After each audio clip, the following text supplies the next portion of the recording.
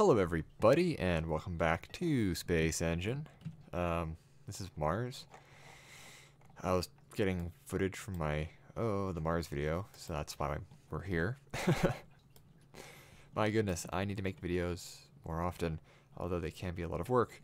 So, yeah, I have two currently in the process. Actually, technically three. Um, I have one about nuclear energy, and I'm also working on a like a large kind of full documentary style uh, video about the Venera program because I find them fascinating and Venus is a fun planet.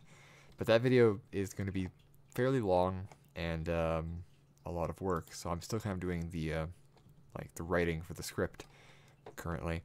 But before that, uh, there will be the nuclear energy one coming up, and I also have another poem I want to do so I'll, I'll do that at some point. But I have been very busy this week. Actually, the last few weeks, to be perfectly honest. Uh, I got a bunch of stuff done on like my model kits. I have three new kits on my shop for sale: uh, Flying Saucer, the Chrysler Serve, and Venera 7, which are all very fun. And yeah, I, I finally got an update done on my game, which I've been meaning to get finished. You can now die in it, but all the deaths are just like funny. Ooh, a carbon star. Actually, I, I, tweeted out and posted on Tumblr uh, a screen cap from like a test of the game, where one of the things like you, like you walk up to this box jellyfish and a prompt comes up and says press E to pet the box jellyfish, and people thought people thought thought that was funny, which it is funny, because the box jellyfish, if you don't know, is the most venomous known creature in the ocean. Like it, it it's you do not want to pet the box jellyfish. So that was kind of funny. I might do like other things like blue ring octopus and a cone snail, like just things you wouldn't want to touch on a beach. Anyways, all of that aside, yeah, it's just been a very busy couple of weeks, and I haven't been able to just sit down and do video stuff because I have a million things going on all the time. I'm actually I'm getting the radio telescope set up finally because I have pretty much all the parts. Um, I, was I was actually I was setting up the let's actually look for planets here.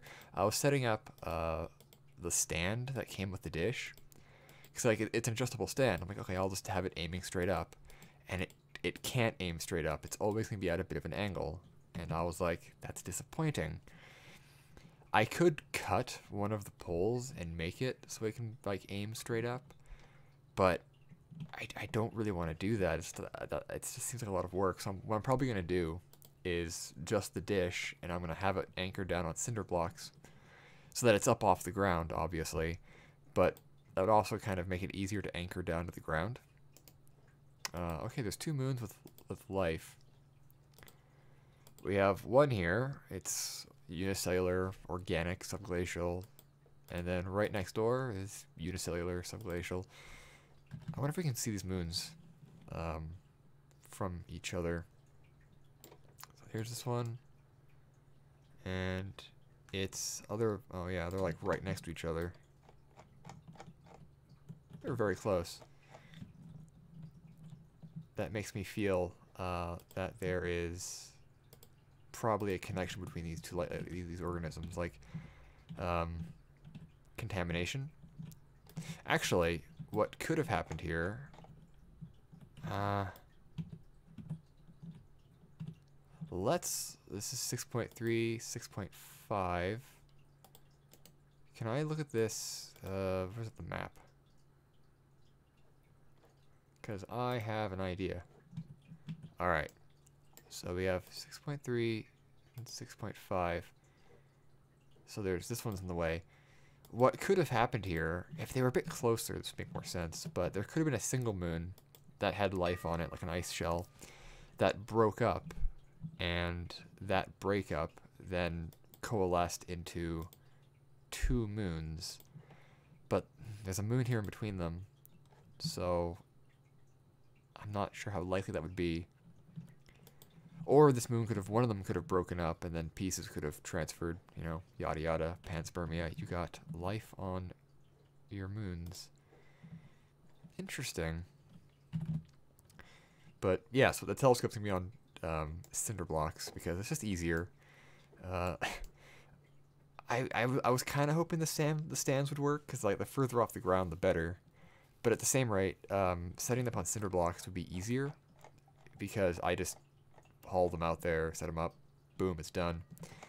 And plus, be closer to the ground, so it's easier to tie them down, and they're not going to act like sails in case of wind, because that does happen frequently. But yeah, so I'm having that set up. I'm actually probably going to go out um, in a couple hours here when the sun starts to come up. I'm going to start assembling the dish itself, because I have uh, a couple pieces put together, but I need to put the petals together and then bring them outside and then fully assemble them into the full round dish. And it's actually quite the dish. It's uh, two points something meters, six feet across, and I'm gonna have three of them. And there's a plate on my desk causing problems. I'll move that to the side. I'm gonna have three of them set up in a uh, like a triangle kind of shape. Wait, where's the life? Ah, here we go. More life. And I have a, uh, a feed horn kind of made for it, which I printed off. I'm going to line with aluminum as a test. It wouldn't work in the summertime because it's made of PLA and it would distort horribly. But um, when I move it out to the actual observatory, I'm gonna I'm gonna have aluminum feed horns that I'm currently getting um, assessed at a aluminum factory. See if I can make them. There's a lot of impacts on this moon. Uh, this makes me think that this moon's surface does not resurface very well. Which makes me think that the ocean below it does not really come to the surface. And there isn't much in the ways of tectonic activity on this moon. Because like moons like Europa have very few craters because the surface gets renewed and refreshed frequently. I mean, in geological timescales. But then you have moons like Callisto, which is pot marked with um, craters because its surface does not get resurfaced very often. And that's kind of what it looks like here. Interesting. so yeah, that was updates and stuff. I was gonna make a video yesterday, but I was recovering from a flu shot. It's weird. I usually don't like like flu shots don't really bother me that much, but this one this year, it did make me feel kind of crappy for a few hours. So I wasn't able to like really work much yesterday. But it's done now, I'm fine, so here we are. And there's a couple topics I was asked to talk about. One of them was my least favorite movie. And that's an interesting question. I'm not actually sure how to answer that because I don't really have movies that I hate. There's movies that I don't like, but in terms of ones that I've watched and genuinely hated, I don't I don't actually know if there are movies that I like. I have to think about this. Uh, there's movies I don't like, obviously. Um, I don't like Marvel movies. I, I find them really boring personally. But I don't I don't hate them. it's like I, I view the Marvel movies as they're just they're made purely for money uh, there's not a whole lot of substance to them. They're just they're just money printers. But people enjoy them, which means that they're enjoyable. So my opinion doesn't matter. It's like they might be money printers, but they're enjoyable money printers. So who am I to say they're bad? And I don't. It's like they're not bad. I just I don't I don't find them interesting, but I wouldn't say they're bad because people like them, so they're clearly not bad. Um in high school, in film studies, we watched a movie called Revolutionary Road. It was a DiCaprio movie. I didn't like it. It was basically just watching a family very graphically and horribly fall apart because of internal and external problems. And the it was it was awful. The woman died because of uh, she tried to give herself an abortion and it didn't go well. It was just a very unpleasant movie and I I didn't like it whenever I think of movies I hate, that's the first one that comes to mind. But then again, that was film studies, and watching movies in school is never generally fun. Um, hmm. Yeah, I don't know if there's any movies that I actually just genuinely hate. Um, uh, it's quite the question. Like again, there's movies I don't like, and there's movies that I I don't watch. And there's a lot of movies I don't watch because I find them boring. Uh, I don't watch slasher horror movies because I find them boring. But I can't say if I like or hate them because I've never watched them. I just know I wouldn't enjoy them. Oop, I saw that. So, that's a that's quite the question. Because it's like assigning hate to something is a strong emotion, and it's like, ooh, exotic unicellular. so it's like, can I actually, like, apply that emotion to something? And wow, this looks interesting. Is that kind of yellowy colors? I'm unsure. But it's subglacial exotic life. Actually, you know what? Uh, what is the the hydrosphere on this? Okay, good. It didn't crash the game. Um, physical. Tidal heating, gravity, metallic core. Internal. Uh, there's a water ice envelope, a silicate mantle, carbide mantle, uh, helium, hydrogen, albedo. It has no hydrosphere. Okay. Um, it could be if there's hydrogen. Oh. No, but it has a lot of water, and a lot of and a silic a, a large silicate mantle. Um, it's abiogenic, subglacial, exotic. What kind of exotic? I want to know what the uh, like what the actual internal structure is made of. Like more like more information than just this. Like it's water and silicate. I mean, it could be silicon life. Judging by the colors here, I almost wonder if we have some kind of like sulfurous life forms. Kind of like the idea of on um, on Io, there might be exotic life that lives in ugh, like the sulfuric, like liquid sulfuric acid uh, pools under the crust, or in, or even in like, uh, oh no, hydrogen sulfide. That's what it was, like hydrogen sulfide pools under the crust, and you could have life, um, exotic life, maybe living there. So, that's a possibility. Uh, there's a lot of water here though, so it might be like methanogenic life. It's not carbon-based, though. Interesting. Just judging by the, the external structure, there's a lot of uplift and stuff and complexity in, in this outer shell. So whatever the life is that lives underneath it, uh, there's more than just water going on here. Interesting. And actually, speaking of that, uh, the next topic I was trying to think of a movie I hated, and I, I, I honestly can't. This movie I dislike, but not one I hate. But the next topic I was asked to talk about is alien viruses, and that's an interesting topic. There isn't like, I mean, there's a lot you could say about them. It depends on what context we're talking about. but um, viruses are found everywhere on Earth. There's like bacteria and plants and animals. Uh, so viruses may have either evolved alongside other life or uh, separate to it.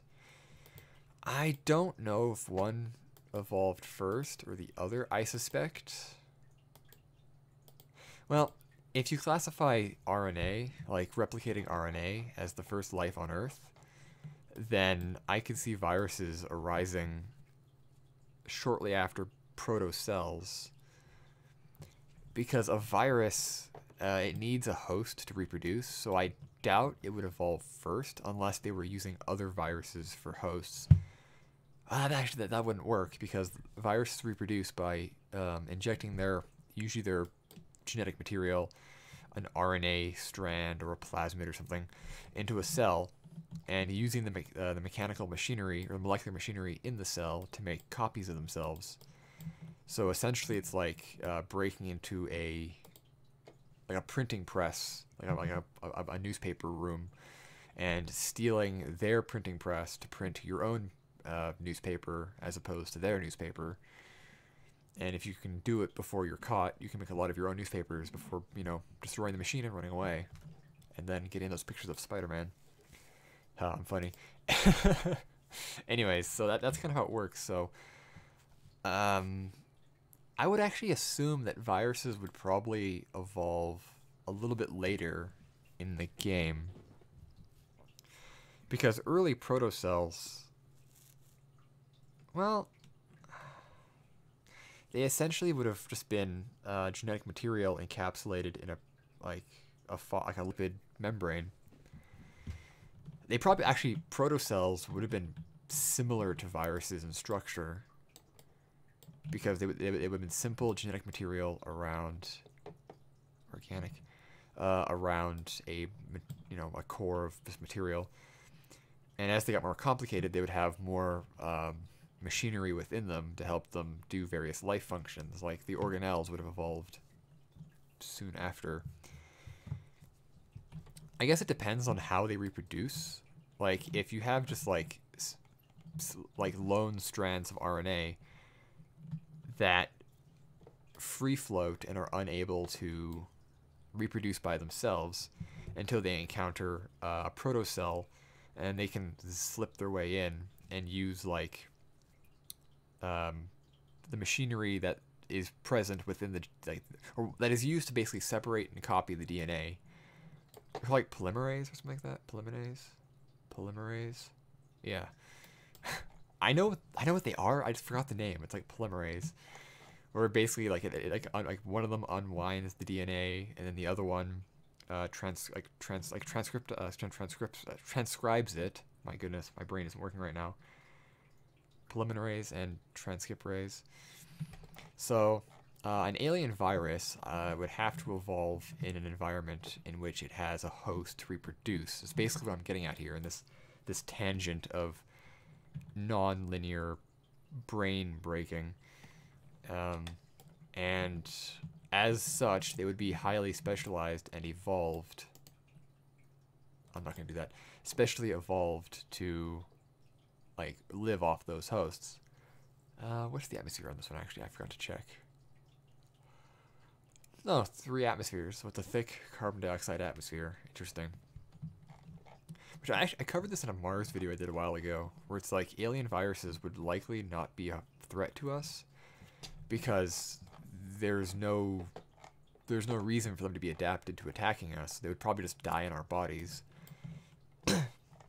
Because viruses are very specialized in what they can and can't do. This is why, you know, your cat can have a runny nose because they're sick with something and they sneeze in your face and you're not going to catch it, like URV or something like that. I know this because my cats, um, when they were younger, had URV, and they kept sneezing in my face. And it's a feline virus, so I can't catch it. Although I still wish they would not sneeze in my face. But, yeah, cats will do what, what they do, I suppose. Now, how an alien virus would be structured, that depends on, oh, all sorts of things. Like, it could be an RNA virus, it could be a DNA virus, um, they could operate on something completely different. Like all you need is basically to inject genetic material into a host and then use their abilities to reproduce. So the alien virus's genetic coding would be compatible with the genetic coding of whatever uh, life exists alongside them. Which does beg the question, could you get exotic forms of viruses? Like, we have carbon-based viruses living here on Earth, attacking our carbon-based life. But if you had, like, silicon-based life, could you have silicon viruses? And how would that even work? It, to be a virus, it has to, like, inject some kind of instructions into a host to reproduce. And I have no idea how a silicon-based life would encode genetics and how that would even work. They could encode stuff completely different, and as a result, you couldn't have viruses, maybe. I think maybe like metallic based life, like, which is a hypothetical. Um, I don't know if they would have viruses in their biosphere just because of how they're how they would be structured or the plasma based life idea of like plasma dust life that might live in like the rings of Uranus or Neptune. Um, I couldn't see how viruses would evolve in that kind of biosphere because they basically are just like they, they would be living fragments of dust based genetic material so you couldn't really um,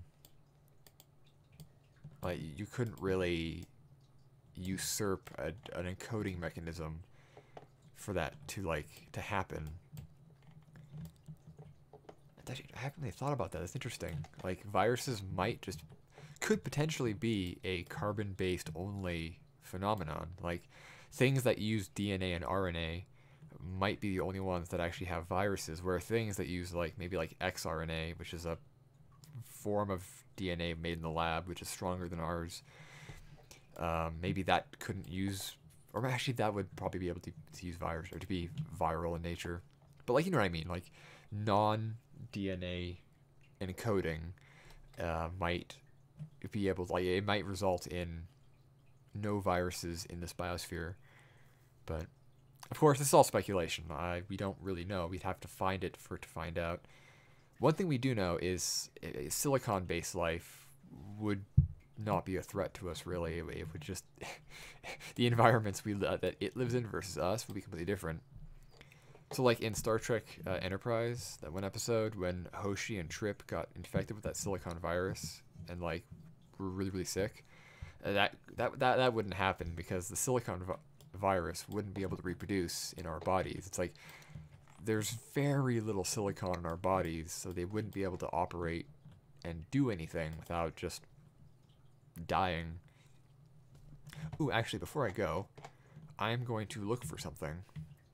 Uh, Pegasus. Alright. That's the Pegasus galaxy. That's the, uh... That's, uh, that's the irregular galaxy. Alright, not the elliptical. Boop. Yeah. I've been watching Stargate Atlantis, and they're in the Pegasus Galaxy, and they are two Pegasus galaxies. There's an irregular one, and there's a spherical one. And they never really um, say which one it is, but I suspect it's the irregular one. And there's the Milky Way over there, because when they when they we see it once, like outside the galaxy, uh, we see that it's irregular in shape. So I suspect this is the Pegasus Galaxy from Stargate Atlantis. Anyways, um, I'm to leave it off there. Although I'm to check out the other galaxy too because I'm curious. Uh, oh, not that one. It's this one. Yeah. Whichever one's 3 million light years. Yeah, it's not this one for sure. It's going to be the other one. So we're going to go back to the other one. Ooh, what's that? Oh, of course, Andromeda, because these are uh, satellites of Andromeda. Anyways, uh, I'm going to leave it off there. Leave it off there. Uh, I'm actually going to bumble around the Andromeda Galaxy, or the Pegasus Galaxy, um, for next time. So, thank you all for watching. I hope you enjoyed. More videos to come. And if you have ideas for place for me to go or topics to talk about, let me know in the comments below. Thank you all for watching. I hope you enjoyed, and space.